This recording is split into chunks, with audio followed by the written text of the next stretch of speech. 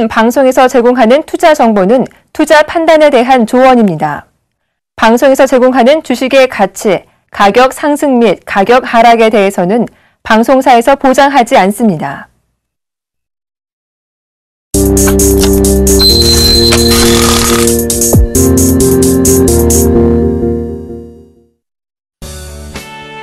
한 발 빠른 시황 분석. top-down 시장에서의 모멘텀 발굴 고수. 이동평균선 박스 기법과 추세를 탄 실전 매매로 고수익까지. 이 모든 것이 지금 공개됩니다.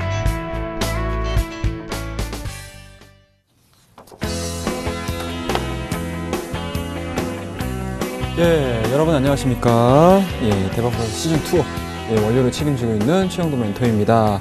자, 오늘 날씨가 많이 좀 추워졌습니다. 자, 우리 증시에는 날씨와는 무관하게 좀 올라가는 모습들을 좀 보여줘야 될 것 같은데요.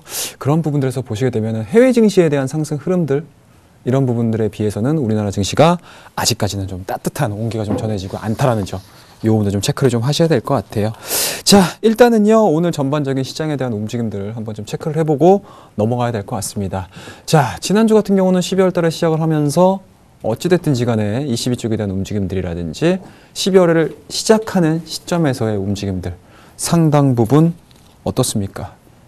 시작하는 시점이라고 보신다라고 하게 되면은 12월 8일 오늘자의 움직임들은 어찌됐든지 간에 12월 달 한 달을 잘 진행시킬 수 있는 그러한 이제 시, 출발점이 될 수 있는 상황들이기 때문에요. 자, 새롭게 시장에 대한 이야기들을 한번 좀 해보면서 진행을 좀 하도록 하겠습니다. 자, 일단은요, 종합주가 지수 좀 보셔야 될 것 같습니다. 마이너스 0.39% 하락한 1978.95포인트로 마감을 했습니다. 자, 일단은요, 어제 간밤에 있었던 미국 쪽에 대한 움직임들, 그리고 유럽 쪽에 대한 움직임들, 상당 부분 경기 지표가 호전세가 좀 이루어지면서 시장을 끌어올렸습니다.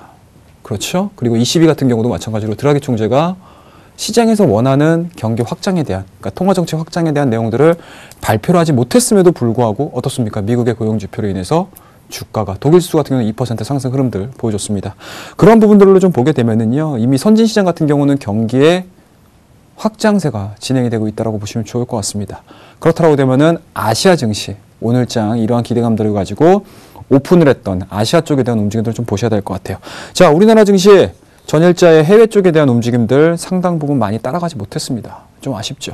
그런 측면에서 보시게 되면은 여전히 중국과 일본의 샌드위치 지리적인 위치에 있던 부분들 그리고 향후 글로벌 경쟁 시장에서의 경쟁력 자체가 좀 떨어질 수 있다라는 부분들 그와 더불어서 어떻습니까 원자재 가격의 하락 그와 더불어서 환율 쪽에 대한 움직임들 이런 측면으로 보게 되면 상당히 좀 넘어야 될 산들이 곳곳에 숨어 있는 장세라고 보시면 좋을 것 같습니다. 자, 일단은 차트적인 움직임들, 차트를 한번 좀 보면서 전 넘어가도록 하겠습니다. 자, 여러분들, 월요일자 항상 이 시간을 보면서 저와 어떻습니까? 추세라는 개념을 가지고 시장을 바라보자라는 그러한 이제 큰 주제를 가지고 저희가 진행을 하고 있는데요. 자, 어떻습니까? 종합주가 지수 예, 1900 선을 기점으로 해서 단기적인 상승 추세가 진행이 되고 있습니다. 자, 어떤 식으로든 주가가 이러한 저점들을 형성을 하면서 꾸준하게 좀 올라가고 있죠. 자, 그렇다고 되면은 상방의 상승 채널, 저항 라인이겠죠. 한번 작성을 해보도록 하겠습니다. 어떻습니까? 상당히 좀 힘겨워 보이죠. 그와 더불어서 121선, 201선이 차례대로 지금 놓여 있는 상황이고요. 그와 더불어서 22쪽에 대한 움직임들이 우리가 원하는 방향으로 진행이 됐다라고 하게 되면은 현재 오늘자에 보여줬던 이러한 이제 양봉에 대한 움직임들이 음봉에 대한 움직임들이 양봉으로 전환될 가능성이 상당히 높았지만 시장은 어떻습니까? 어떻습니까? 통화 정책에 대한 내용들이 나오지 못했다는 점. 그리고 오늘 장중에 중국의 11월 PMI 지표가 시장의 예상치를 하회 했습니다. 그와 더불어서 2개월 연속 지속적으로 50.8, 50.3을 기록을 했다는 부분들은 경기 둔화를 시사하는 그러한 측면이 있기 때문에 우리나라 쪽 같은 경우는 중국과 디펄, 디커플링 되는 현상들이 최근 들어서는 굉장히 좀 크게 자주 자주 진행이 되고 있습니다. 과거 같은 상황에서 보시게 되면은 중국의 상승은 곧 우리나라 증시의 상승으로 비견될 수 있었는데 자 오늘 같은 경우는 어떻습니까? 오늘 그리고 최근에 대한 움직임들 보시게 되면은 중국 같은 경우는 3천 포인트가 넘어가는 그러한 움직임들을 보여줌에도 불구하고 우리나라는 2천 포인트를 넘어가기가 상당 부분 어렵게 진행이 되고 있다는 점. 그와 더불어서 121선 입행에 대한 움직임들 상당 부분 넘어가기가 쉽지 않다라는 거. 그와 더불어서 11월 달 말 기점으로 해서 1990포인트에 대한 저항 라인이 잡혀 있는 상황들이기 때문에 실질적으로 원자재 가격에 대한 상, 상승이라든지 그리고 외국계 움직임들에 대한 시장에 대한 선호 현상들이 진행이 되지 않았을 때 움직임들은 상당 부분 조금 괴로운 예, 장세를 만들어낼 가능성이 상당히 높다 말씀드리도록 하겠습니다. 그럼 단기적인 상승 추세를 조금 거스르는 움직임들, 직전 저점에 대한 움직임들, 직전 고점에 대한 저항 라인이 상당히 좀 강하다라는 점. 이러한 부분들이 우리 코스피 증시를 나타낸 하루가 아닌가 라는 말씀을 드릴 수가 있을 것 같아요. 자, 수급적인 현황들을 좀 잠깐 좀 보고 넘어가도록 하겠습니다. 자, 수급을 넘어서 볼게요. 자, 외국인들 천억 정도 순매수가 들어왔습니다. 매수가 순매수가 좀 들어오긴 했어요. 예, 그와 더불어서 기관톡 같은 경우는 마이너스 714. 아마 주말 동안에 여러분들 수급 현황들을 한번 잘 보셨으면은 체크를 하실 수가 있으실 텐데요. 최근에 펀드 물량들이 1950포인트, 쉽게 말씀해서 직전 고점이라고 할 수 있는 1990포인트를 기점으로 해가지고 차익성 매물들이 상당히 좀 많이 짙어지고 있습니다. 그런 측면에서 보시게 되면은 투신, 금융투자, 그죠? 연기금까지도 순매도세로 전환됐다라는 점. 자, 이 부분들을 외국인들이 천억 정도의 순매수세가 들어오긴 했지만 업종별로 놓고 봤을 때 흐름들을 좀 보게 되면 다소 좀 아쉽습니다. 자, 경기 민감주로 보시게 되면은 삼성전자가 한 460 정도 매수가 들어왔고요. SK 하이닉스가 한 250 정도 순매수가 들어왔습니다. 자, 그 밑에 있는 종목군들을 좀 보시게 되면 상당히 좀 일관되지 못한 모습들을 보여주고 있죠. KB금융, LG생활건강, 현대차, 한라비스테온공조, 대한항공, 롯데케미칼. 실질적으로 시장에 대한 움직임들이 강세 방향으로 진행이 된다고 하게 되면은 경기 민감주들의 순매수 그렇죠? 예, 이런 쪽으로 진행이 돼야 되는데 이러한 부분들에 대한 흐름들이 전혀 지금 focusing이 안 잡혀지고 있다라고 보시면 될 것 같아요. 그런 측면에서 보시게 되면 굉장히 좀 산발적으로 진행이 되는 그런 이제 수급 현황들을 보고 있다라고 보시면 좋을 것 같습니다. 자, 201로 넘어가세요. 코스닥 쪽 같은 경우는 보도록 할게요. 자, 코스닥은 개인적으로 굉장히 조금 긍정적인 포인트를 좀 가져갈 수 있을 것 같아요. 자, 우리나라 증시. 제가 서울경제에서 예, 대박 플러스와 투맨쇼를 진행을 하고 있는데, 어, 그 두 양 방송에서 제가 항상 쓰는 단어가 있어요. 풍선 효과라는 단어를 많이 쓰고 있습니다. 자, 코스피 쪽에서에 대한 움직임들이 강한 상승이 진행이 된다고 하게 되면 코스닥의 작은 종목군들, 쉽게 얘기해서 PER 자체가 계속적으로 올라가고 성장에 대한 개념들을 가지고 성장을 했었던 주가가 상승했었던 종목군들 같은 경우는 차익성 매물들을 내보내는 경우들이 상당히 많았습니다. 근데 어떻습니까? 지금 또 시장이 반대로 움직이죠. 대형주들에 대한 움직임들이 아직까지는 댈수 있지 않은 상황. 그런 환경들에 놓여 있다고 하게 되면은 코스닥 종목군도 같은 경우는 어떻습니까? 오늘 같은 경우는 뭐 사물인터넷, 뭐 게임주 같은 경우도 산발적으로 움직이고요. 그와 더불어서 휴대폰 부품주들, 휴대폰 부품주들에 대한 움직임들까지도 제가 계속적으로 말씀 좀 드렸던 게 있어요.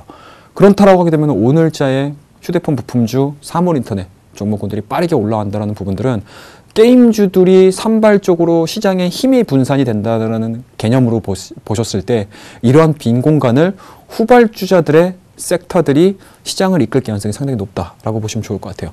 자, 우리 코스닥 차트라는 개념으로 한번 좀 보고 넘어가야 될 것 같아요. 자, 지금 화면상으로 보시게 되면 시가총액 얘기들 상당히 좀 자주 나오시죠? 예, 그런 부분도 잘 체크하셔야 될 것 같고요. 자, 일단은 583포인트를 기점으로 해서 어떻습니까? 주가가 꾸준하게 하방으로 진행이 됐습니다. 자, 이런 부분들은 어때요?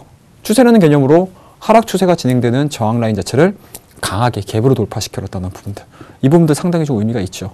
오늘 같은 경우도 플러스 0.10%의 상승 흐름들을 좀 보여줬습니다. 물론 캔들에 대한 움직임들을 보게 되면 음봉에 대한 내용들이 강하게 진행이 되고 있지만 그동안의 상승을 이끌었던 쉽게 얘기해서 하락 추세를 돌파시켰던 섹터들이 게임주라고 명명해 볼 수가 있을 것 같은데요. 그런 부분들에서 게임주들이 산발적으로 분산됐을 때 이 빈 공간을 채워나가는 섹터들이 휴대폰 부품주가 올라왔다는 부분들은 상당히 좀 의미가 있다는 점.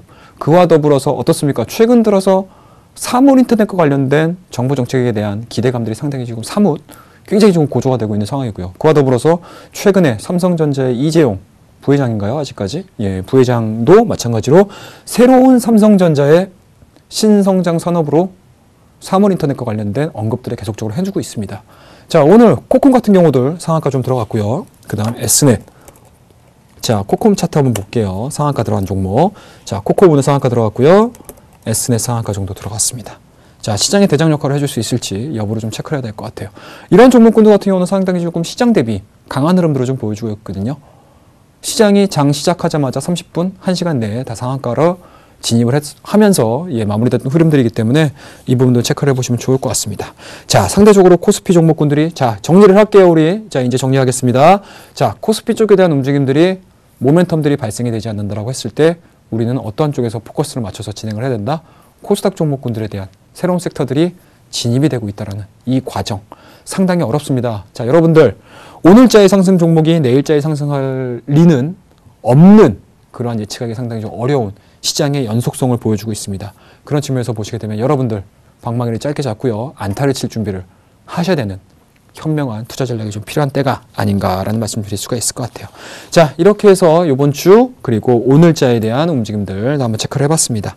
자, 그렇더라도 면 AS 좀 안 해보고 넘어갈 수 없겠죠. 자, 일단은 첫 번째 종목입니다. 자, 원익 IPS. 자, 원익 IPS 어떻습니까? 자, 코스피, 코스닥 변동성이 진행되는 과정에서 오늘자 0.70% 그러니까 전일자에 대한 움직임들을 좀 보셔야 될 것 같아요. 전일자 같은 경우는 지금 거래량이 실렸거든요. 거래량이 실리면서 주가가 빵 뛰었습니다. 그리고 이 종목 같은 경우는요. 좀 길게 볼게요. 길게 보시게 되면 이 종목이 어느 정도의 성장성을 가지고 주가가 진행되는지 아마 눈에 보이실 거예요. 자, 추세라는 개념을 가지고 한번 추세선을 거보겠습니다. 자, 어떻습니까? 121선, 61선 전혀 이탈하지 않고 꾸준하게 상승하는 모습들을 보여주고 있죠.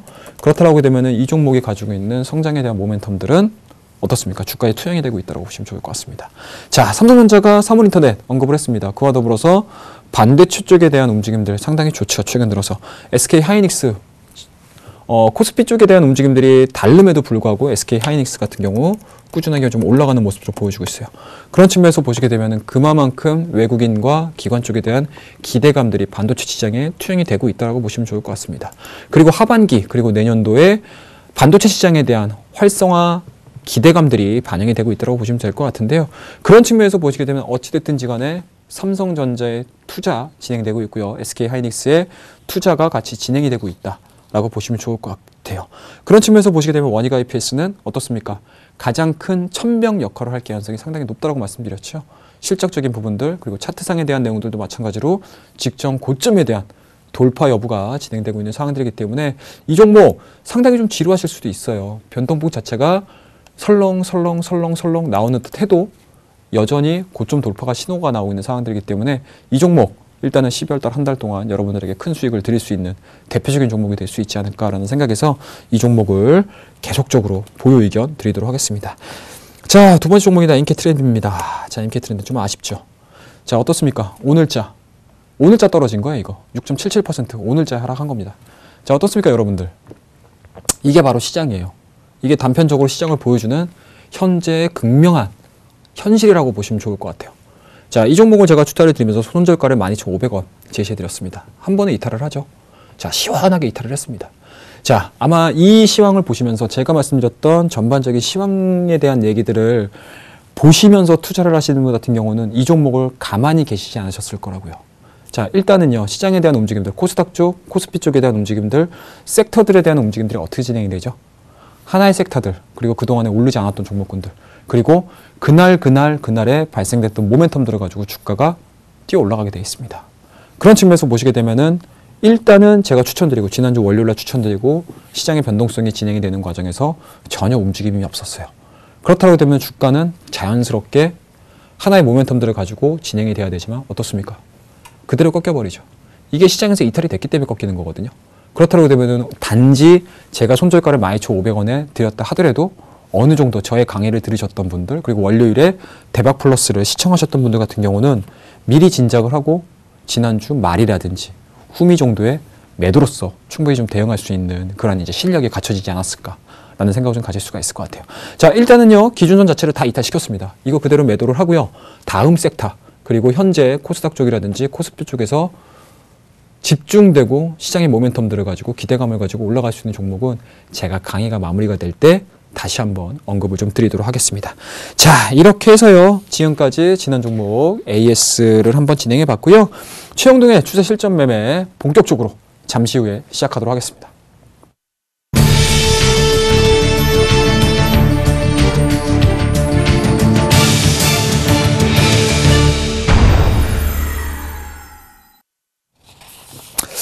예, 자, 이번에는, 자, 본격적인 시장이에요. 대박 플러스 뭐 시황 얘기도 좋고요. 종목 얘기도 좋고 다양한 다양한 얘기들이 뭐 남겨져 있는 시간이긴 하지만 가장 주인이 될 수 있는 시간은 바로 이 시간입니다. 추세 실전 매매. 자, 일단은 기본적으로 저희와 반전 패턴 이야기들 굉장히 많이 했죠. 그리고 추세의 기본적인 개념, 그와 더불어서 추세라는 기본적인 개념을 가지고 우리가 어떠한 형태들의 매매를 해야 되는지 얘기들을 많이 했습니다.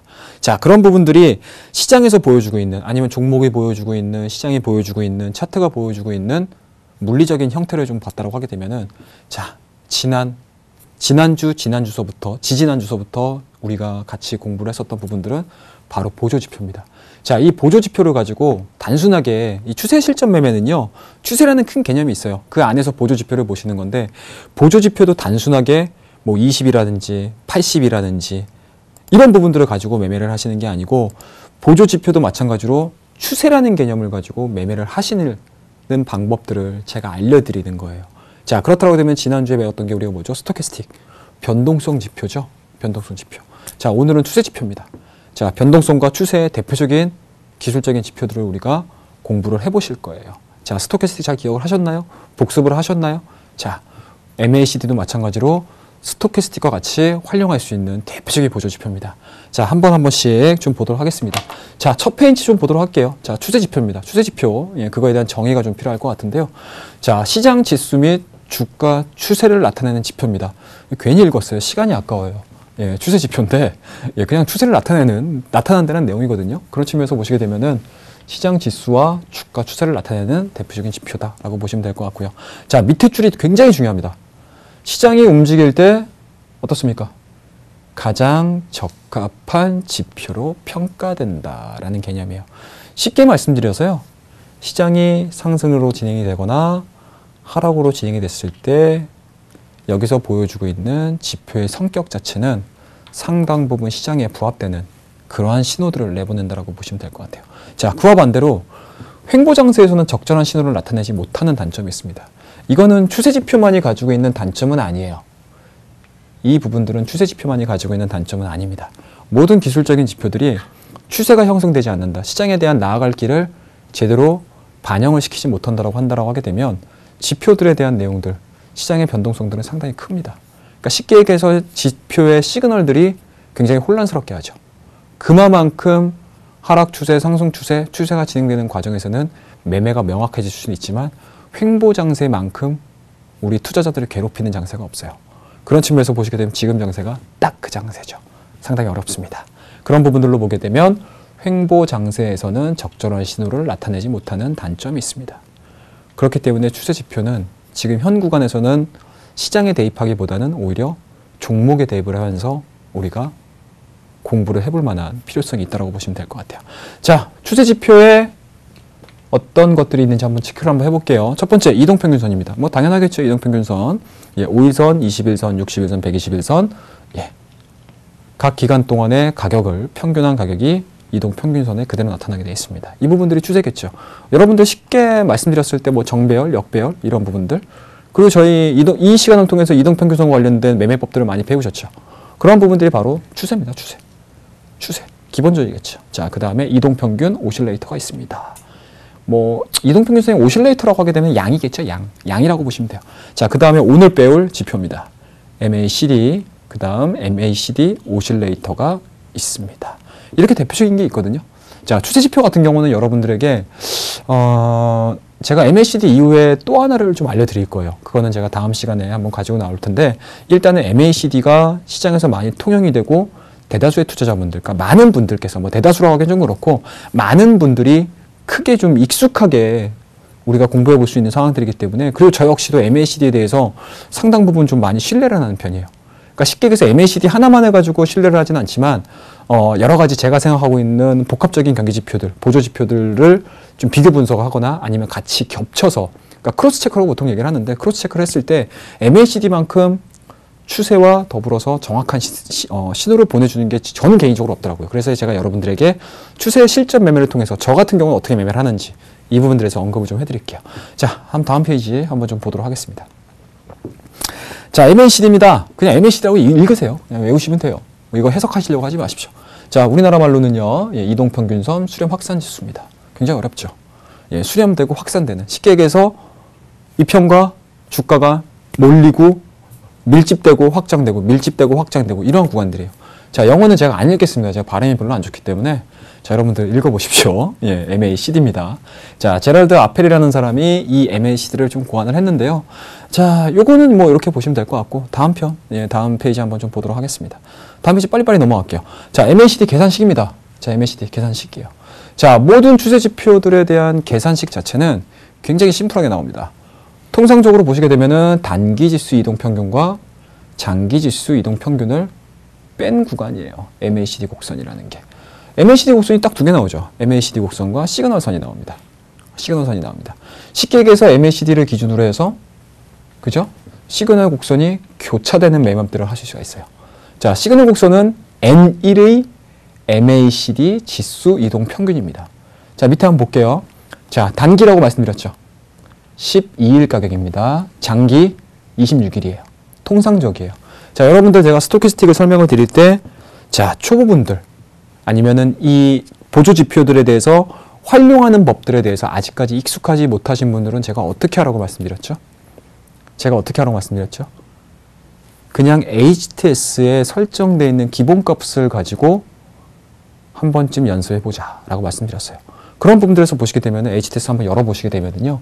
단기 12일, 장기 26, 시그널 9 해가지고 콤마 콤마 콤마 해가지고 숫자가 잡힐 거예요. 그런 부분들에서 보시게 되면 한번 다 지워볼까요 이거 우리? 지워보고 다시 한번 써볼게요. 자 단기 12일, 장기 26일, 시그널 9일입니다.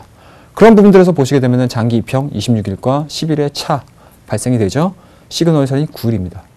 어떻습니까? 단기 이평과 장기 이평의 교차라고 보시면 될 것 같아요. 그런 측면에서 보시게 되면 MACD와 시그널 선에 대한 매매 법들을 한번 볼게요. 자, 다음 페이지 한번 넘어가서 보도록 하겠습니다. 자, MACD의 그냥 일반적인 활용법이에요. 일반적인 활용법. 이거는 제가 설명하지 않아도 여러분들이 아마 뭐 다양한 정보들을 통해서 다양한 info들을 통해서 아니면 때로는 기술적인 분석과 관련된 책들을 통해서 아마 정말 귀에 딱지가 앉을 정도로 얘기를 들으셨을 거예요. 자, MACD 곡선이 시그널 곡선을 상향 돌파 시에 어떻게 한다? 매수입니다. 쉽게 얘기해서 단기 이평 자체가 장기 이평 자체를 돌파를 시켰을 때 쉽게 해서 골든 크로스겠죠. 자, 골든 크로스입니다. 골든 크로스가 진행이 된 거예요. 자, MACD 곡선이 시그널 곡선의 하향 돌파 시 매도입니다. 뭐죠? 데드 크로스입니다. 이렇게 암기하세요, 그냥. 암기하세요. 암기하세요, 암기. 암기만 하시면 돼요. 예, 이거에 대해서 뭐 여러분들 분석하시려고 뭐 하시고 뭐 계산하시려고 하시고 이런 것들 전혀 쓸모 없습니다. 그냥 암기만 하십시오. 자, 그 다음에 MACD 값이에요. MACD가 보통 영선을 기준으로 해서 주가가 움직이죠.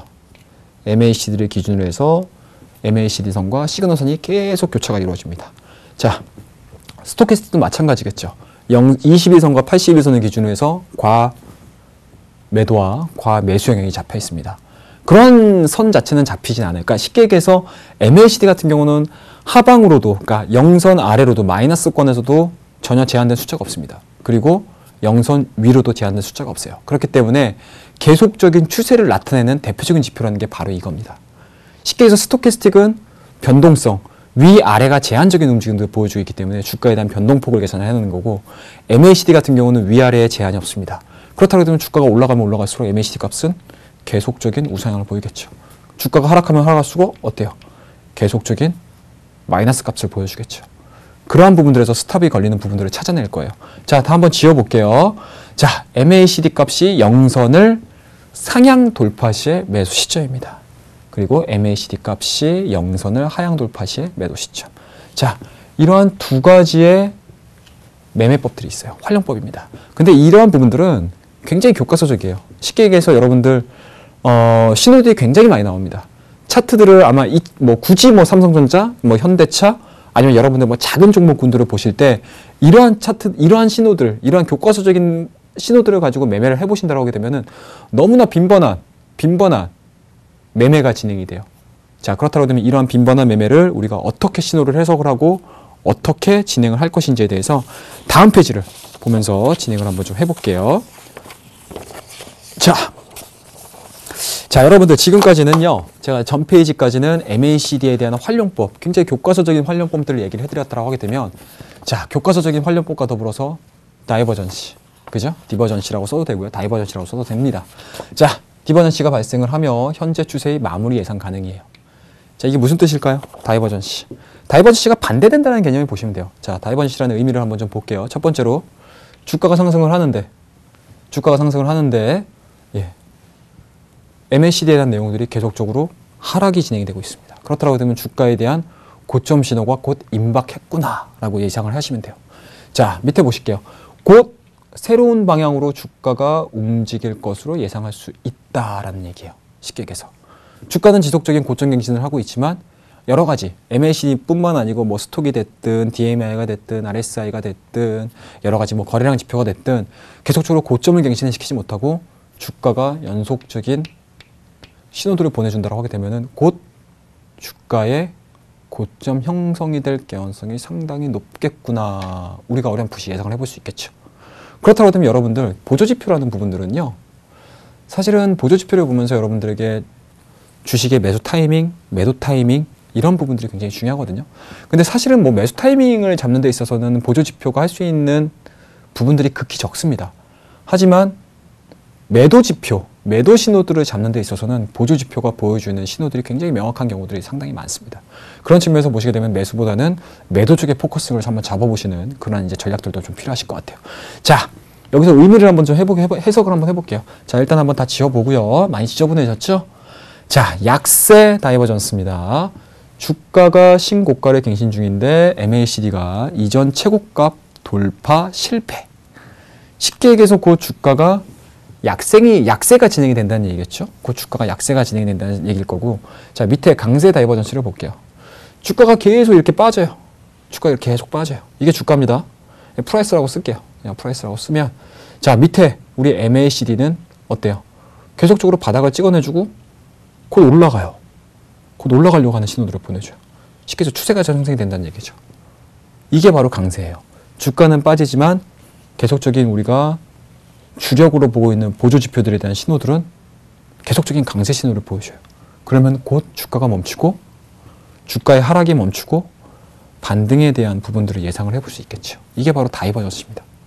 쉽게 말씀해서 여러분들 어, 앞서 말씀드렸던 MACD의 활용이라는 부분들로 주가를 보지 마시고요.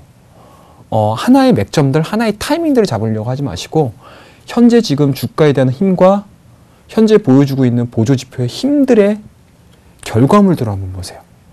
그게 바로 divergency입니다. 그게 바로 다이버전시예요. 이 divergency를만 잘 활용하셔도 매수 타이밍, 매도 타이밍 굉장히 그 정확도가 높아질 수 있어요. 이것들을 한번 좀 보여드릴게요. 자, 다음 페이지 한번 좀 보도록 하겠습니다. 다음 페이지 한번 보도록 할게요. 자, 이게 어떤 종목이냐면요. 아, 이 전 페이지 한번 좀 보겠습니다. 예. 이 페이지가 지금 두 페이지인데, 자, 한번 볼게요. 차트 이거 말고 한번 좀 볼게요. 자, 차트 한번 좀 넘겨주시겠습니까? 자, 다음 페이지 한번 넘겨볼게요. 어, 자, 보시면은요. 자, 예, 자 하이버 저기 보시게 되면 한국 사이버 결제거든요. 자 한국 사이버 결제 한번 좀 볼게요. 자 한국 사이버 결제 한번 좀 보도록 하겠습니다. 자 이거를 제가 동그라미를 역을 쳤어요. 자 우리 추세 설정하는 법부터 제가 하나하나씩 알려드릴게요. 지금 이거 이게 지금 HTS가 아마 다 틀리실 거예요. 다 틀리실 텐데 차트 설정을 한번 클릭을 각자 하세요. 각자 한번 해보셔가지고 MACD만 딱 치시면 돼요. 그럼 설정이 바로 들어가거든요. 자, 한번 열어보도록 하겠습니다. 자, 어떻습니까? MACD 지금 설정이 된 거거든요. 자, 선이 안 보이시죠? 자, 이 시그널 선은 검은색으로 한번 바꿔볼게요. 자, 각자 여러분들이 보시기 편한 색깔로 한번 바꿔보세요. 자, 어떻습니까? 주가가 현재 어때요? 60일선을 저점으로 해가지고 주가가 갑자기 빵 뛰기 시작을 하죠. 한국 사이버 결제. 그리고 직전 고점을 돌파를 시켰습니다. 직전 고점을 돌파시켰어요. 근데 여기서 MACD에 대한 선을 볼게요. MACD에 대한 선을 보겠습니다. 자, 일단은 영선을 기준으로 해서 교차가 일어나면서 주가가 올라가는 현상들을 보여주고 있죠. MACD도 마찬가지로 딴, 딴, 딴, 딴 올라오고 있습니다. 자, 이 부분을 통해 가지고 우리가 MACD에 대한 매수 관점을 보자는 얘기가 아니에요. 한국 사이버 결제를 가지고 MACD 매수 타이밍을 잡자는 얘기가 아닙니다.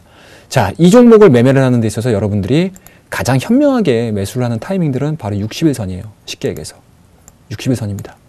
60일 선에 대한 지지 여부가 확인이 되는 과정, 그리고 그 전에 보여주고 있었던 시장의 모멘텀들을 좀 고민을 해본다고 하게 되면은 이 종목은 굳이 MACD를 기준해서 매매를 안 하셔도 돼요. 근데 제가 말씀드리고자 하는 부분들은 바로 하락하는 과정에서의 MACD 신호입니다. 하락하는 과정에서의 MACD 신호예요. 자, 보시자고요. 이게 바로 다이버전시입니다. 자, 다이버전시 하나의 예라고 보시면 돼요.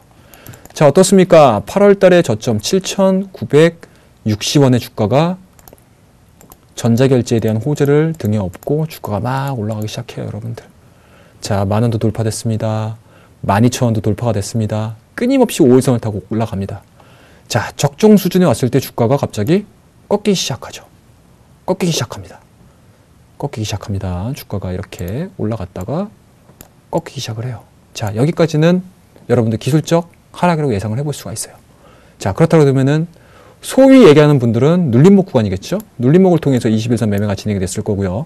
그렇다고 되면 이 한국 사이버 결제가 추세를 기준으로 해서 매매를 해봐야, 해봐야 된다고 하게 되면은 직전 고점 자체를 계속적으로 돌파를 시켰어야 된다고요. 하지만 어떻습니까? 직전 고점에 대한 돌파가 이루어지지 않고요. 어때요? 저항 라인으로 작용을 하면서 주가가 빠지기 시작을 합니다. 자, 이때의 MACD에 대한 신호를 한번 볼게요. 정점 만들어내죠. 정점 만들어냅니다. 주가 MACD에 대한 움직임들이 고점 갱신을 하지 못하고 계속적으로 빠지기 시작을 하죠. 자, 첫 번째 도전 실패 나옵니다. 자, 다시 한번 빠져요. 두 번째 도전 또 실패입니다. 이때 MACD가 저점을 형성을 하고 다시 한번 올라가 줘야 되는 흐름들이 나왔어야 되는데 지금 보시게 되면은 MACD 선 자체가 계속적으로 하방으로 진행이 돼버리죠. 그렇다면 바로 이게 뭐다? MACD의 divergency. 주가와 MACD의 신호의 divergency라고 보시면 돼요. 그런 부분들로 인해서 주가가 빠졌다라고 생각을 해보실 수가 있으세요. 아셨죠? 자, 이게 굉장히 극명한 예제가 될 수가 있어요. 자, 이게 바로 한국 사이버 결제고요. 자, 하나 더 볼게요, 우리. 하나 더 보도록 하겠습니다. 자, CJ 제일제당이라는 종목을 한번 볼게요. 제일제당. 자, 차트 한번 다시 한번 저희가 넘어가서 좀 보도록 하겠습니다. 자, 좀 길게 볼게요. 예, CJ 제단은 길게 보시면 돼요. 자, 첫 번째로 여기서 발생되고 있는 신호, 쉽게 얘기해서 단기적으로 이렇게 발생되고 있는 뭡니까? 박스권이죠. 자, 여러분들 제가 MACD 설명을 드릴 때 횡보 장세에서는 이 MAC에 대한 신호를 신뢰할 수 있을까요? 없을까요? 없다고 제가 말씀드렸죠. 분명히 없다고 말씀드렸습니다. 횡보 추세 속에서는 MACD뿐만 아니고 여타 다른 기술적인 지표들에 대한 분석들이 용이하지 못한 구간에 진입해 있다라고 보시면 돼요. 자, 하지만 스토캐스틱, MACD 다 동일해요. 횡보장세는 전혀 무용지물의 기술적인 지표들입니다. 그런 부분들에서 보시면 오히려 박스 횡보장세 매매, 제가 횡보장세 매매 여러분들 어떻게 하는지 알려드렸죠? 예, 그러한 부분들을 이용을 해보신다고 하게 되면 이 종목은 그러한 부분들, 이 기간 동안에는 적어도 기술적인 지표들이 아니고 오히려 저점과 고점을 잇는 그죠? 단기 박스권 매매가 가장 유용한 매매다라고 보시면 될 것 같아요. 자, 그렇다고 되면 여러분들 가장 큰 문제가 발생을 했어요. 돌파가 됐습니다. 돌파가 됐을 때 신호를 한번 볼게요. 돌파가 됐었을 때 신호를 한번 볼게요. 자, 어때요? 거래량이 갑자기 동반하는 흐름들이 나오죠. 거래량이 동반하는 흐름들이 나옵니다. 그러면서 주가가 직전 고점을 돌파를 시킵니다. 자, 여기까지는 좋습니다. 여기까지는 신뢰를 할 수가 없어요. 여기까지는 어느 누구도 신뢰를 할 수가 없습니다. 어, 이 종목이 왜 돌파를 시켰지? 어떠한 이유들을 가지고 돌파를 시켰지? 모릅니다. 예, 모른다고 가정을 하는 거예요. 자, 다 지워볼게요. 다 지워보고 다시 한번 진행을 해보도록 하겠습니다. 좀 짧게 보겠습니다. 이제 집중해서 좀 보셔야 되기 때문에 자, 240의 기준으로 좀 보도록 할게요. 자, 여기서 어떻습니까? 한 차례 거래량이 실리고 돌파가 된 이후에 주가가 눌리기 시작을 하죠. 어떠한 이유 대 선지 간에 주가가 눌리기 시작을 합니다. 수급적인 부분들 다 차치하고 보도록 할게요.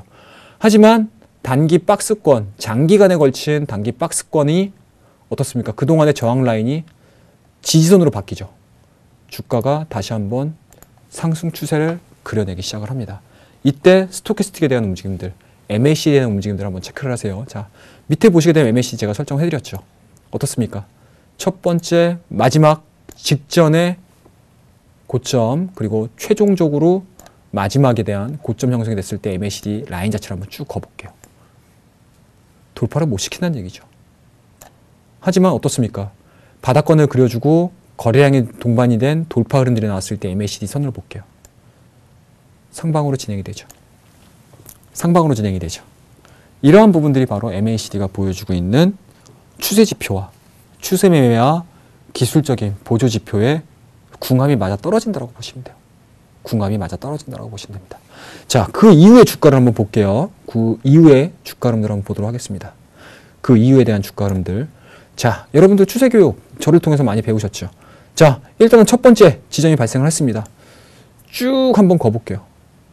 쭉 한번 거볼게요. 첫 번째 지점이 발생이 됐고요. 그 다음 두 번째 지점이 발생이 됐고요. 자, 세 번째, 네 번째 지점이 발생이 됐습니다. 이때 어떻습니까? 주가가 끊임없이 올라가기 시작을 하죠. 쭉쭉쭉쭉쭉쭉쭉 올라가기 시작을 합니다. 자, 주가가 어느 일정 수준 되니까 기술적인 뭡니까? 차익성 매물들에 대해서 주가가 반응을 하기 시작을 합니다.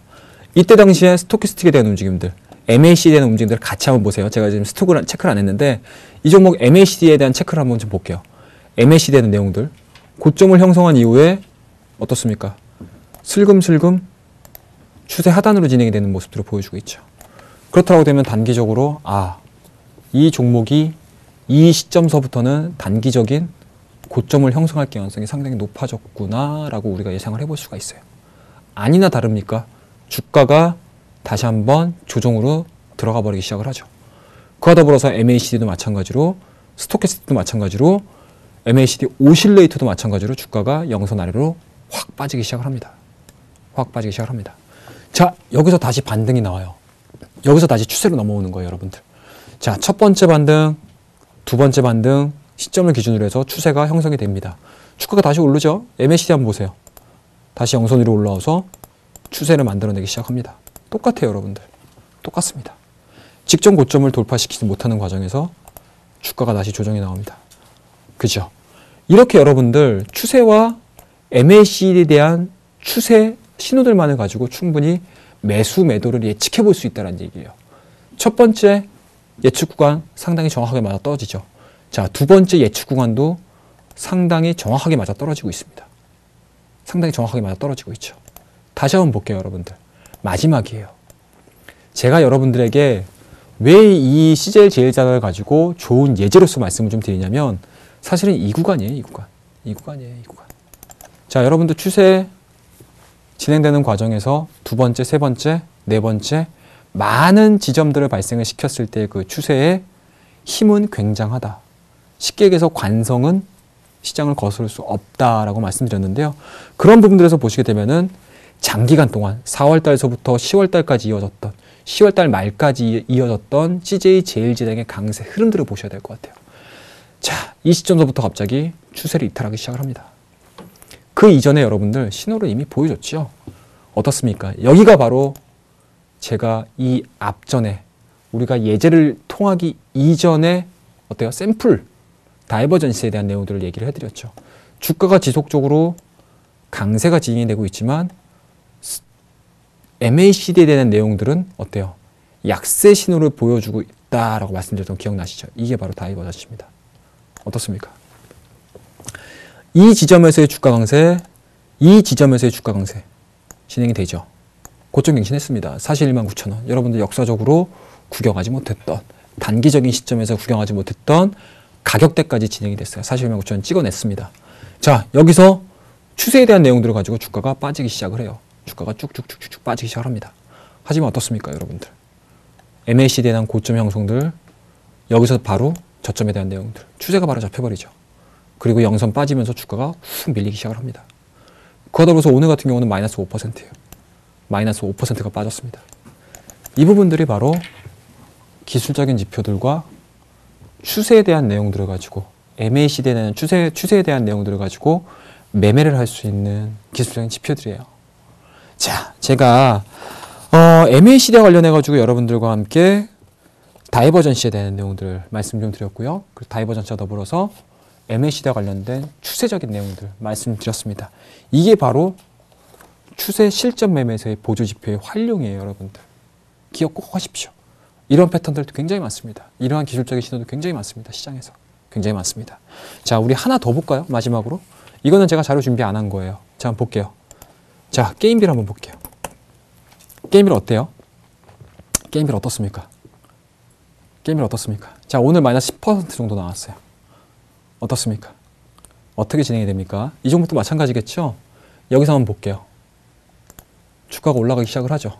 싼 거로 만들어냈습니다. 하지만 MACD에 대한 신호 자체는 쭉 빠져버리기 시작을 하죠. 자, 최근에 MACD에 대한 돌파 흐름들이 나왔습니다. 주가가 끊임없이 올라가기 시작을 하죠. 자, MACD 곡선 자체가 고점을 형성을 하고 주가가 빠지기 시작을 합니다.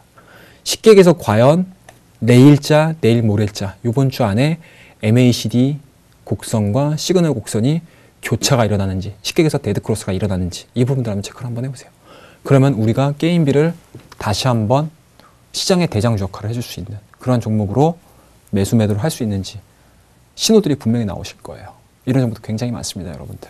그렇다고 되면 MACD 그냥 허투루 들으시면 안 되겠죠. 그리고 전주에 말씀드렸던 스토캐스틱과의 연관성, 연계성, 변동성과 추세 지표를 같이 보신다고 하게 되면 아마 여러분들 그런 부분들에 대해서 조금만 능숙해지신다고 하게 되면 사실은 보조 지표들을 저는 개인적으로 뭐 두 개, 세 개, 네 개 중복해서 보시는 거를 별로 권해드리고 싶진 않아요.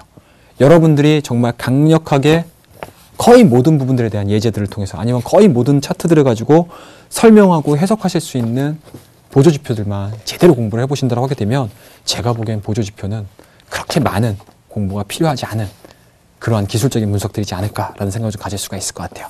하지만 이번 시간을 통해서 이 시간을 통해서 다양한 보조 지표들을 제가 여러분들에게 소개시켜 드리고 실전에서 매매하는 방법들을 알려 드릴 거예요.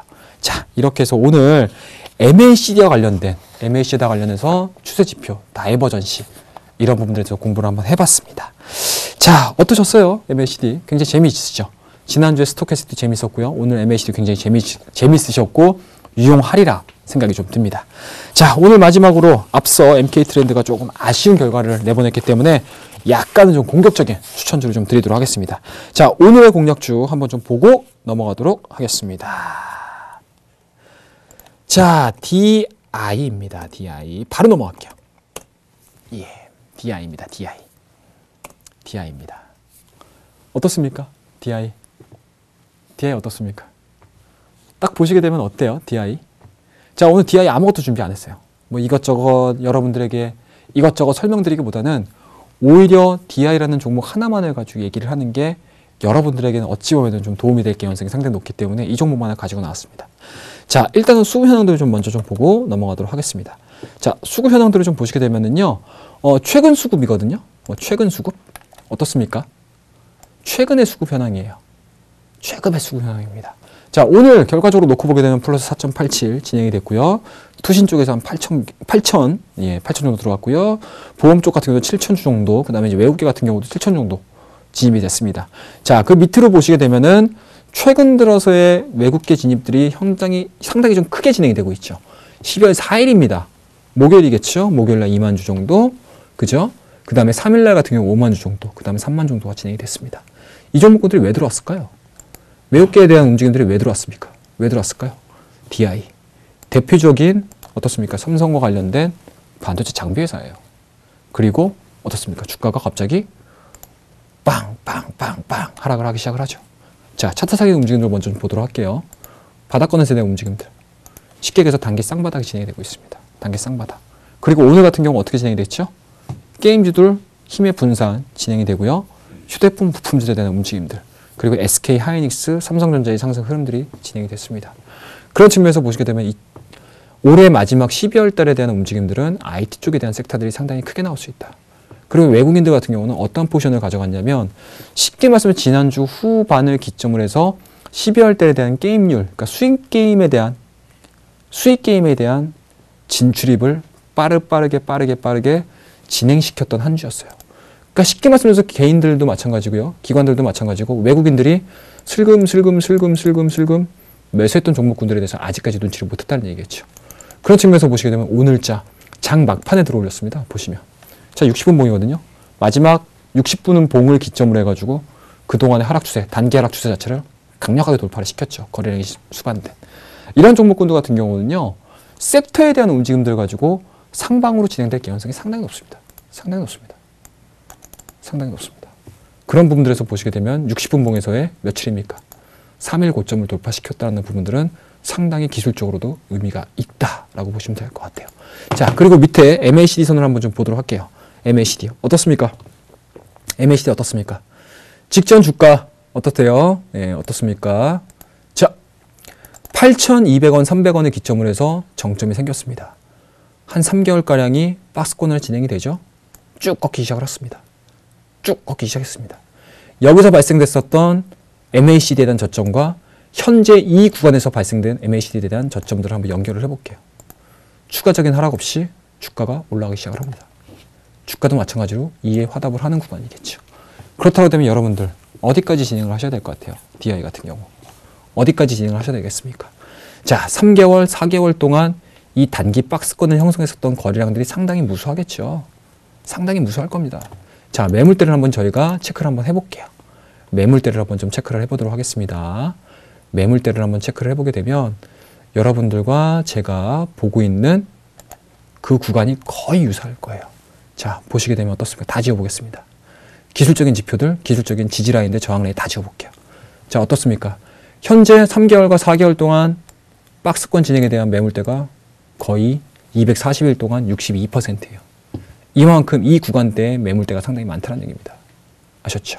그렇다고 하면 현재 지금 보여주고 있는 기술적인 반등, 그와 더불어서 SK 하이닉스와 삼성전자의 내년도 올해 하반기 12월 달 한 달 동안 그리고 내년도 상반기 초반까지 반도체 시장에 대한 호황기가 진행이 된다 아니면 시장에 대한 모멘텀들이 발생을 했다 심적인 부분들이 상당히 호전되고 있다라고 하게 되면 하부에 걸려 있는 이런 종목 작은 종목군들이 코스닥 시장을 이끌 가능성이 상당히 높다라고 보시면 돼요.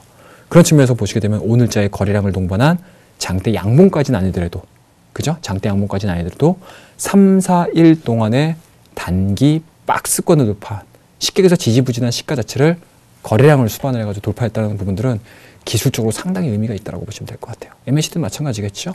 그런 측면에서 보시게 되면 이평에 대한 돌파 흐름들, MACD에 대한 다이버전시에 대한 내용들까지 고려를 해보게 되면 DI 같은 경우는 업종 대표주들에 대한 상승 흐름과 더불어서 가장 강력하게 변동성을 보이면서 올라갈 가능성이 상당히 높다고 보시면 될 것 같습니다.